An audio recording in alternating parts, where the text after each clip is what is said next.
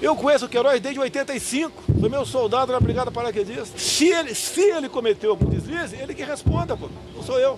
Mas o Queiroz não estava foragido e não, não havia nenhum mandato de prisão contra ele. Mas parecia que estavam prendendo o bandido da, da face da terra o Queiroz ele pode esclarecer a real relação que existe entre a família presidencial, a família Bolsonaro e grupos paramilitares do Rio de Janeiro. Botava assessor para ligar para ele para saber onde eu tava para atrás de mim na campanha. Que sabia que o Queiroz estava do meu lado trabalhando, um cara correto, trabalhador, dando sangue por aquilo que ele acredita. São relações é, que envolvem repasse de dinheiro, pagamento em contas e também precisam ser investigadas.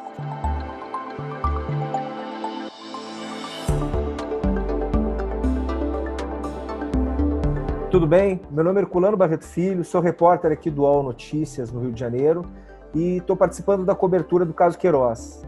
Vou conversar com o Flávio Costa, que também está participando dessa cobertura, lá de São Paulo. Tudo bom, Flávio? Tudo bem, Herculano. Prazer falar com você.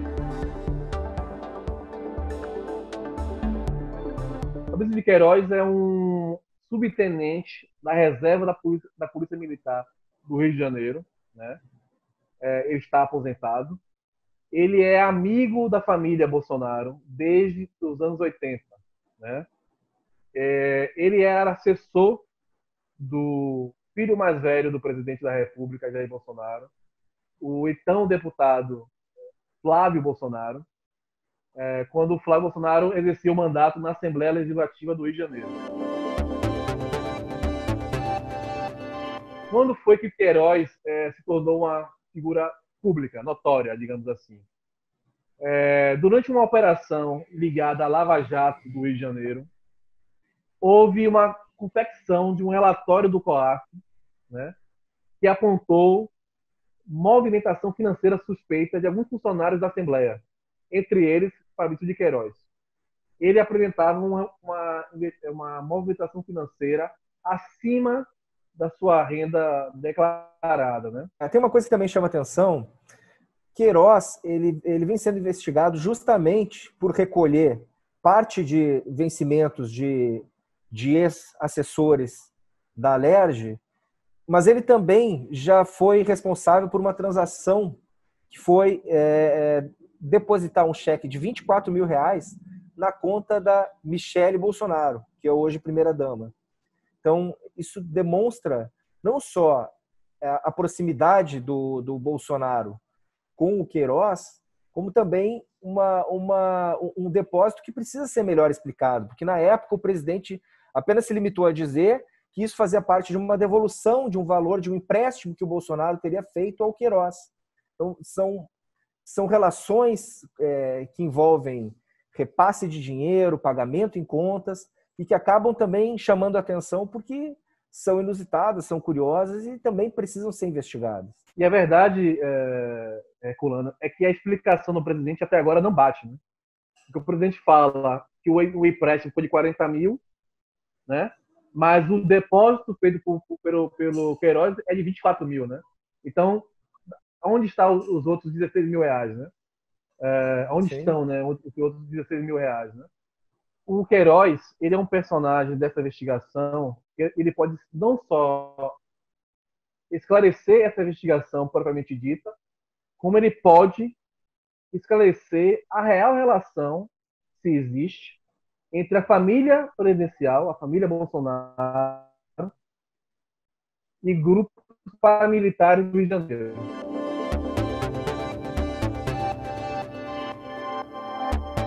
Então, o, o Fabrício Queiroz, ele é acusado de ser o, o operador de um esquema de rachadinha na Alerj, no gabinete do então deputado Flávio Bolsonaro, e que motivou o, o começo dessa investigação.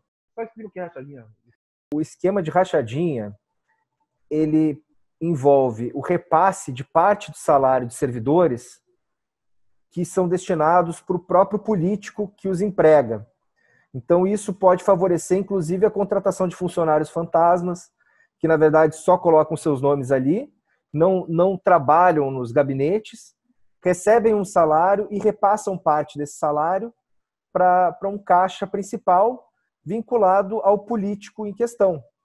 Outro dado que justificou a prisão do Queiroz é, é que o MP constatou, através dessas mensagens de celular trocadas entre ele e a esposa, que ele estava agindo para obstruir a investigação, né? obstruir a, a, a, o trabalho do Ministério Público. Qual é a situação de agora de Queiroz? Primeiro, ele está preso preventivamente no Rio de Janeiro, né? ou seja, não há, não há prazo para que ele seja solto. Né?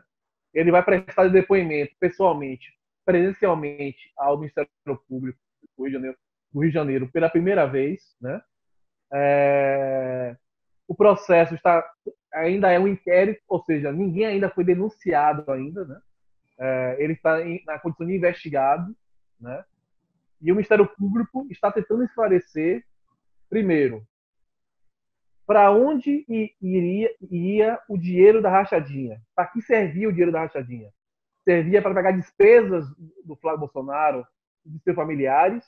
Ou servia, como se suspeita, para financiar imóveis irregulares da milícia? Né? A partir de agora, a investigação vai tentar descobrir é, o destino desse dinheiro é, que foi é, que era recolhido junto aos funcionários do gabinete do Flávio Bolsonaro.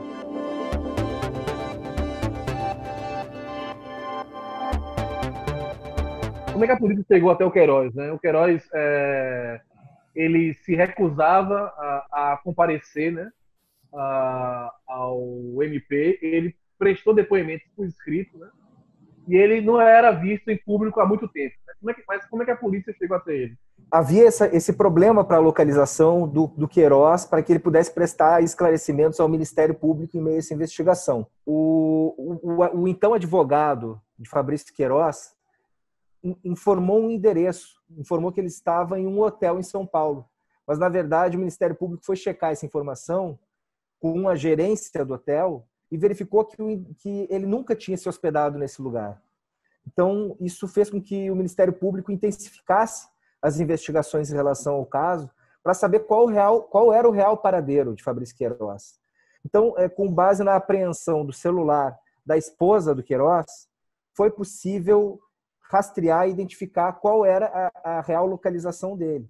Então, com base nos dados do telefone da esposa do Fabrício Queiroz, foi possível identificar troca de mensagens entre o casal, fotos que o Queiroz enviava para a esposa e a real localização, que era essa casa em Atibaia.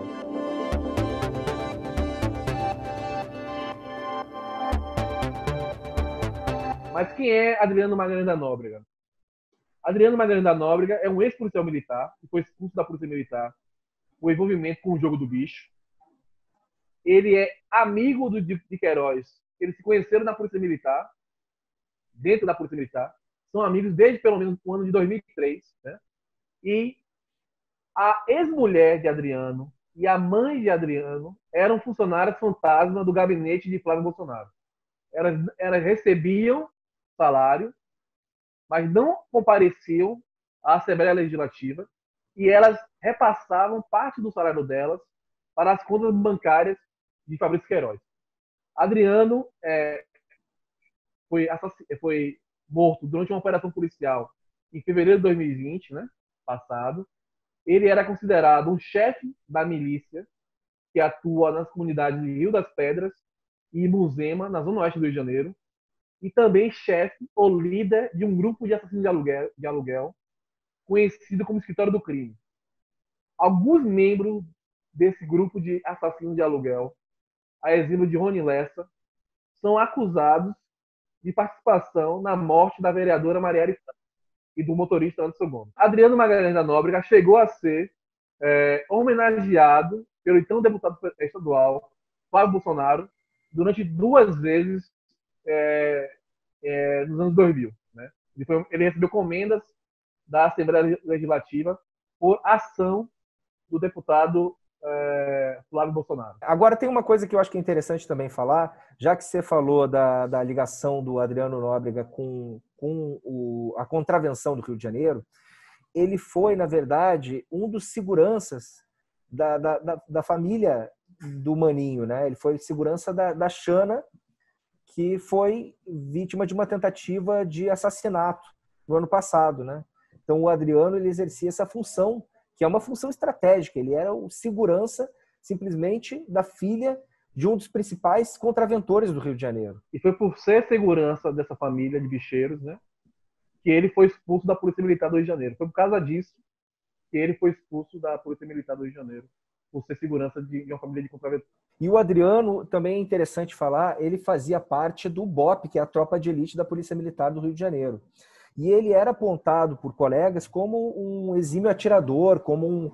É, ele era praticamente o policial perfeito, é aquele cara que tinha, é, enfim, que tinha todos os atributos que eram necessários para a função.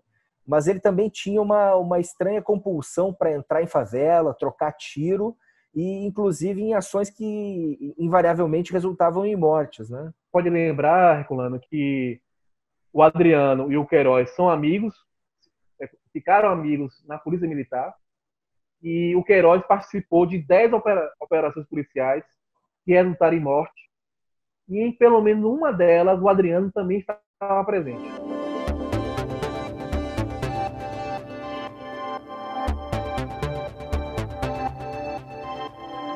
é, eu tive contato é, com o advogado do Queiroz em frente ao plantão judiciário.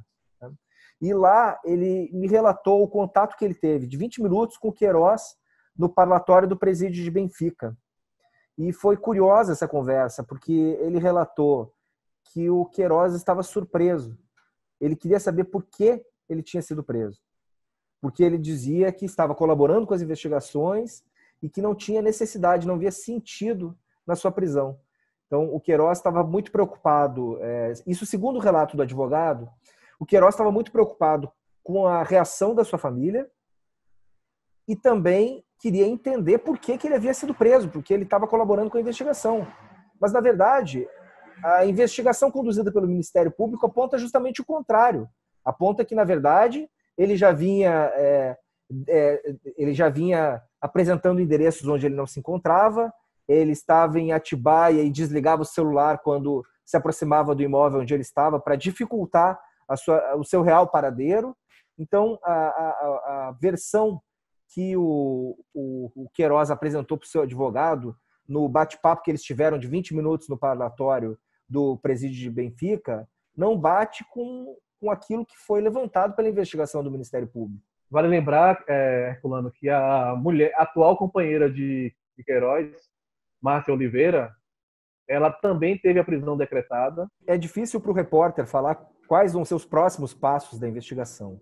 Até porque a investigação é uma investigação sigilosa e, e que, na verdade, ela, ela chega ela chega para a gente, chega a informação do que vem acontecendo justamente no momento em que o Queiroz vinha sendo, vinha sendo preso. Então, todas as informações são sigilosas e os próximos passos, evidentemente, também são sigilosos. Mas o que se espera é que, é, é, a partir da prisão preventiva do Queiroz, seja possível é, responder alguns questionamentos e avançar nas, nas, investigações. Talvez seja possível que o Queiroz forneça informações que possam ajudar o Ministério Público a entender como funcionava esse esquema e, e avançar na investigação até para saber qual era o real envolvimento das pessoas que já já foram é, indiciadas e até outras que talvez não, ainda não tenham sido identificadas pela investigação. É, é, é complicado falar nos próximos passos, mas há, há, algumas perguntas que a investigação precisa responder, né? É, o dinheiro da rachadinha servia apenas para pagar despesas da, de, Flávio Bolsonaro e de seus familiares, ou servia, por exemplo, é uma suspeita de que parte desse dinheiro financie né, imóveis ilegais construídos pela milícia nas comunidades de, de Rio das Pedras e Muzema. É, Flávio Bolsonaro, por meio do seu operador, Flávio, Fabrício, de Queiroz, financiava a milícia nesses projetos ilegais na Zona Oeste do Rio de Janeiro, é uma resposta que a investigação vai é, tentar encontrar. Né? E também é preciso avançar é, na, na real origem do dinheiro que pagou os boletos dos, da, das mensalidades escolares das duas filhas do Flávio e também o plano de saúde dele, porque, de acordo com o levantamento feito pela investigação, é, esse dinheiro não saiu das contas do Flávio Bolsonaro e da sua esposa.